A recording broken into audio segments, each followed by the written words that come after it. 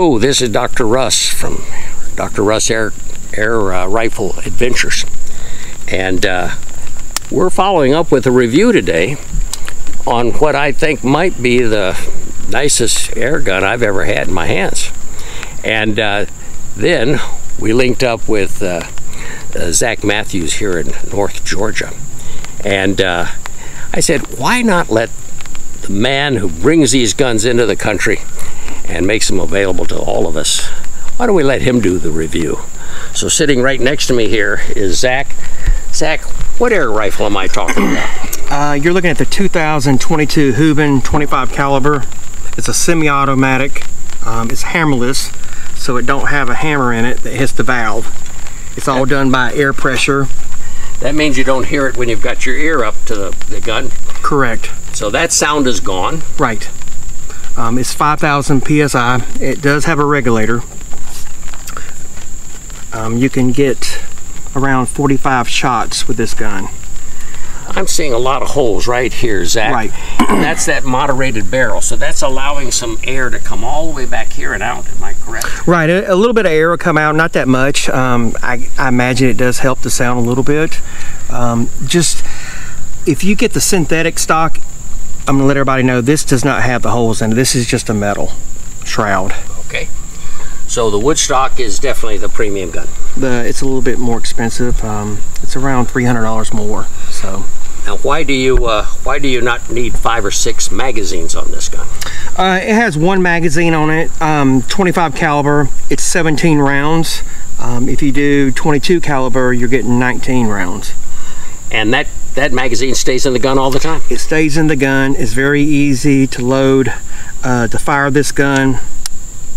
That's all you do. It's ready to fire. If there's air in the gun, it's going to fire. And it has a regulator. This is your regulator here. Okay. If you want to load this magazine, all you do is flip this lever up like this. Let me turn it around like this. And this one is loaded. You flick the lever and then you turn it. Load the pellets, the slugs in there. Once you get it all the way loaded, just rotate the magazine one more time to make sure everything's pushed in there because you don't want to jam. Um, the magazine actually becomes the barrel so it actually shoots from the magazine into the barrel so and then you just lock this back down and it's ready to fire uh, right here is a power wheel if you turn it in, it decreases the power. If you turn it out, you gain power. Um, so you can actually get this all the way down to about 350 feet per second in 22 and you could probably push pellets around close to 1300 feet per second in 22 caliber.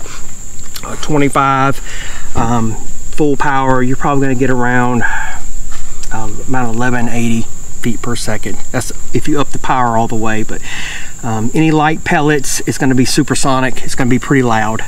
But in this one here, I use the JSB, the, the MK2 33.95 and I got it set on high power so I'm shooting her almost about a thousand feet per second in this gun. I see a, a green balance leveler there. Right. It's, going to built right into the gun. Uh, that's that's something that they added, which is very nice. Um, I personally don't really use it because my scope's already lined up perfect. As long as your crosshairs are even, this is going to be pretty good. Um, on this one, I have the FX No Limit scope rings, and I'm using the Helix 4x16 by 44 on this one. Now, I always want to get at least a 20 inch barrel, and this is a bullpup. And bullpups see people see bullpups as something that's shorter, right? But not in this case. No, this one has a 27 inch barrel. So your barrel is going to start right here and it's going to go all the way about three inches from the end. So there are some baffles in there which is going to help the sound, but this gun is not that loud anyway. So it's semi-auto. Semi-auto. It's 27 inch barrel. 27 inch barrel. It's got the balance in it. Every chain has its weakest point, Zach. What's the weakest point of this gun? Mm, I really can't find a whole lot about this gun that I don't like. Um, if I had to guess, maybe this right here. Um, it's plastic, but this one here is metal now. Um, anytime you load this gun, you flick it up, load it, and hold it and let it down slow. Don't slam it because you don't want to break it. But in the in the past they were plastic, but this one here is metal. But I would still be careful with it. Um, other than that, I don't really see any weak, weak parts of this gun at all. Is is the uh, stock cushion on the back? Is it adjustable? Uh, this one here is no, it, it's fixed. It's fixed, Okay. but it fix it fits real good to the shoulder and everything. And this is a walnut. Um, um, they don't give you a lot of walnut. Um, they only give you like a small percentage of guns. So whatever your order is, they're gonna say, okay, we're only gonna give you like maybe one or two wood, something like that. Um, they hand make them, which is really good quality. This is my personal gun here. I do have it in 22 also. This is 25. Okay. Uh, we're going to shoot a melon here next, so let's take a look at that. Okay.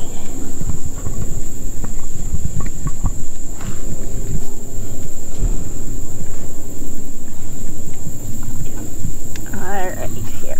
We gotta get it situated. There.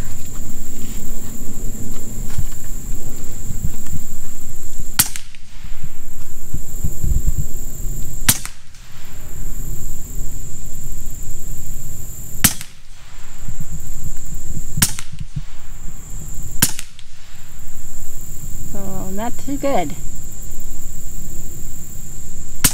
Looking good from here.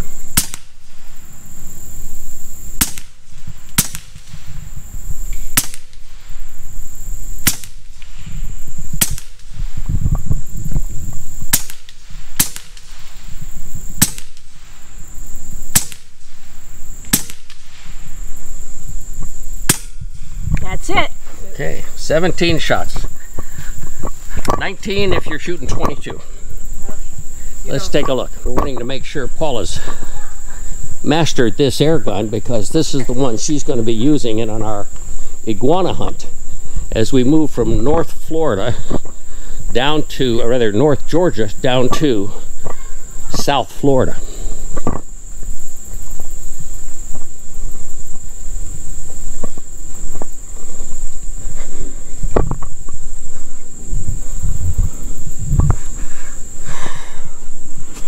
Well, she did not beat Zach, who's off on the right. But uh, everything here seems to be within, I don't know, the in the six ring. So hitting the head of a hitting the head of an iguana at this distance should be easy. As you can see, Dr. Paul is quite a shot here at about uh, 25 yards. Uh, Zach, do you think you can beat this? Uh, I'm gonna give it a try. Okay. give it a try. Uh, there's some fresh targets down there, and there's a water uh, cantaloupe. Okay. Alrighty. I got 5,000 psi in the gun, and I'm shooting the JSB MK2 33.95. Alrighty. You gonna shoot the target or the melon? Uh, I can go for the target, I guess. Or you want me to shoot the melon? Let's shoot the melon first. Alright, let's do the melon.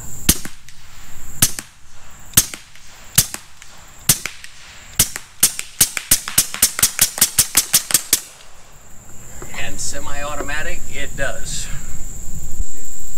It looks like Zach's a pretty good shot. Put holes right through that melon. That was nice shooting. He was putting them right in the center of the cantaloupe, and that got boring, and the hole was appearing. So he just purposely shot to the side just to see more of that cantaloupe cantaloupe bounce off. Uh, I don't know if people know this, but one of the finest barrel companies is, I think it's out of Germany, called Lothar, Walther Lothar.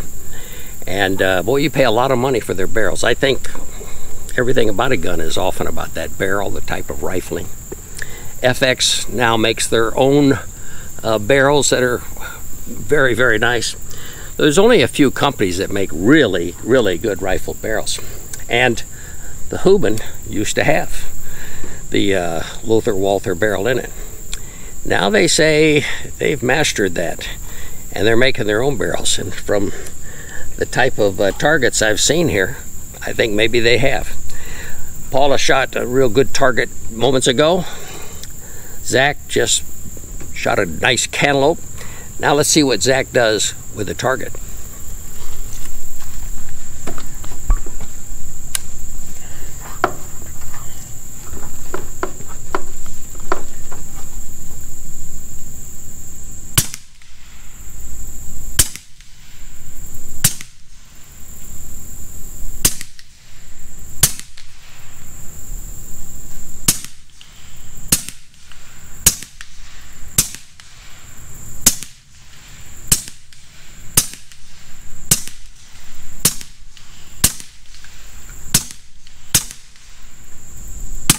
That's it.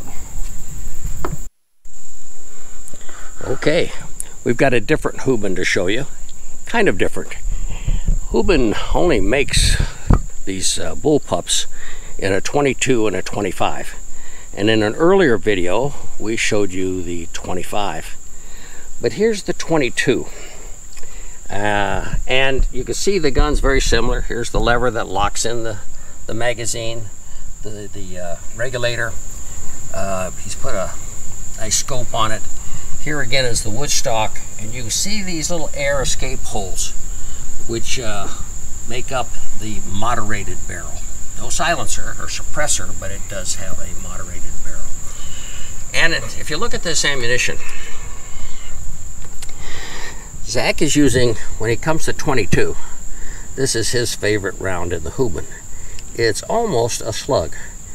It still has an indentation, and it's the JSB Jumbo Monster Diablo. This thing weighs uh, 25 grains. Uh, any idea what kind of energy it has at the end of the target?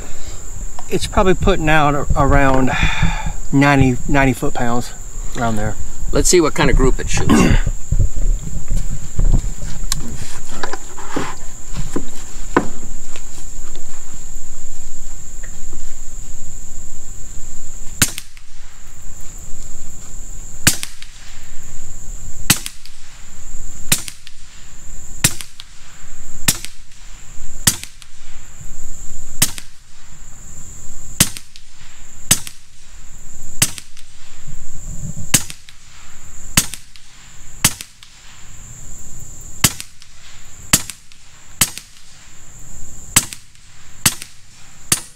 That's it.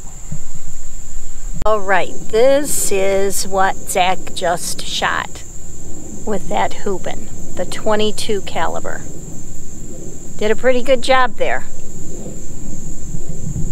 So there's uh, Zach's 17 shots. Here's uh, Dr. Paulus at uh, this yards. That's a good shooting. And uh, of course, Zach shot at this cantaloupe, which might be leaking here till tomorrow morning. okay, excellent gun. If uh, you like today's video, give us a thumbs up. If you have questions, write them down. I always respond. And if you want one of these Huben, you might just give Zach Matthews a call. He's got them.